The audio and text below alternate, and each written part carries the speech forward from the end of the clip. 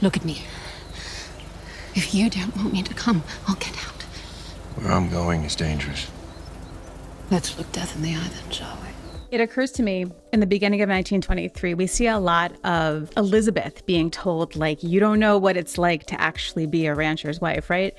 I think Alex must really, really not know what it's like. Do you think she has any idea about what's coming up, what's ahead of her? I think she has no idea, but I think that she is the type of gal to take anything and give it her best, give it her all. You know, like she is that girl. She, from the jump, I don't necessarily know what I'm doing or why, but I know what I want and I'm going to get it and I'm going to master it. Wherever she lands, I think that she's going to be great at it. They're very much in the honeymoon period of their relationship and it's all very romantic and obviously reality is going to happen at some point for them even more than it already has. Do you think she has any regrets so far? Do you think she's had any moments of regret? I talked a lot about that with ben our director along the way. Yeah we did want to sprinkle in some moments of realistic doubt because it is this kind of grand gesture that she's done by running to the car and running away with him. That was authentic to her in the moment. Alexandra!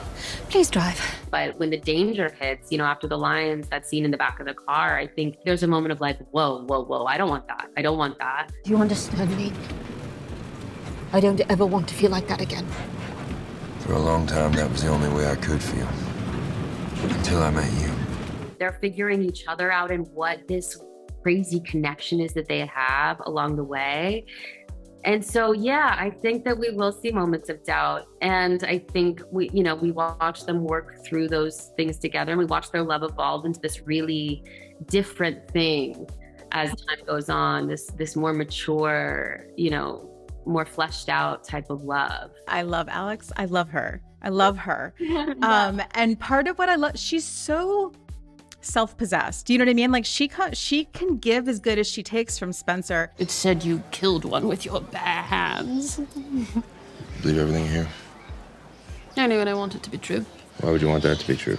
For the romance of it we don't know a ton about her background, right? What do you think, or have you had any conversations with the writers or producers? Like, what gives her that pluck, for lack of a better word? I think it's just the natural desire for any woman, really, to want more for themselves. You know what I mean? And it's something that I related to as a modern woman. Growing up, I was always told by society that I had to be quiet or I had to be this or I had to you smile and take it, whatever. It's like that internal thing of like, wait, no, I want what the boys have. I want what that I want what that is. This ball of fire exists in her.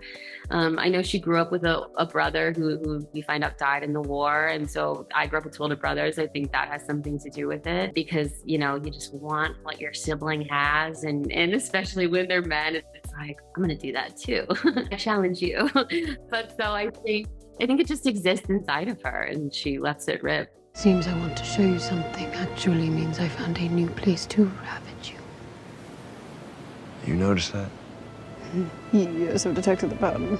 Talk to me about cavorting on a beach for I'm assuming which was a long shoot, right? It was so crazy. We shot all the beach stuff in two days. Pretty quick. Um, it flew by. But it was so funny because it was honestly the easiest part of filming for us. We had the time of our lives. We were like little kids splashing around in those waves. Like you could not get us out of the water. We were in there all day. The hair and makeup people were yelling at us, be like, "We need to apply sunscreen. Get out of the water!" And we were like, "Nope. Like if you wanna, you can come get us, but you're not gonna." And so we like we were just playing in the water for two days straight and then our director would be like okay action and we'd be like all right here we go and it, so it just felt really like natural and fun i think it you know aided the scenes because we were just so relaxed that's so funny you can tell i'm like old and not romantic anymore because I'm like, oh, her skin, she's gonna burn. Get her out of get her out of the direct sun. It's so funny. I saw everybody say that, but I, I look like I look like somebody who would burn really badly, but I I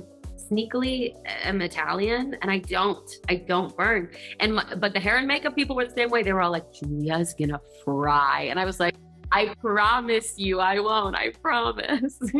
So Jack said, Who needs a horse? And he yanks the saddle off the bronc and marches it over to the milk cow.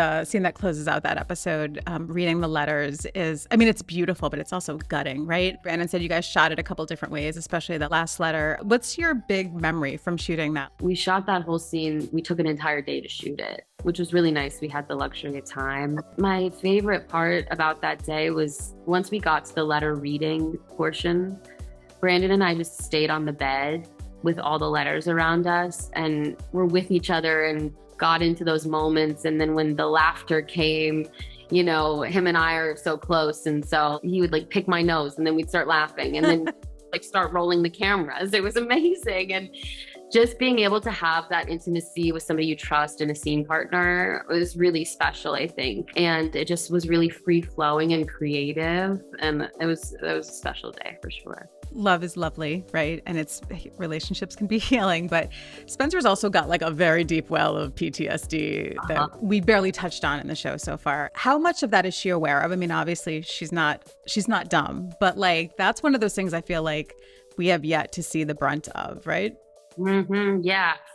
Yeah, I think that she's certainly aware of it. And I think she's certainly keeping an eye on it. She's really keyed into him and what's going on internally, which I think is part of the reason why she's so disarming for him. But yeah, I mean, that does rear its ugly head. And that's something that they have to figure out together. And she's got to figure out how to handle and also how to process it for herself. And uh, figure out what that means for her and for their relationship. So it definitely comes up. Yeah. Before I let you go, um, what can you tease about how she'll interact with the Duttons? I'm thinking particularly of Cara, who does not suffer anyone, right? What can you tease about about how she'll kind of her first impressions of the Duttons? I like to think that that she's gonna love him. You know, she loves Spencer, and I think she will love anyone who is of Spencer.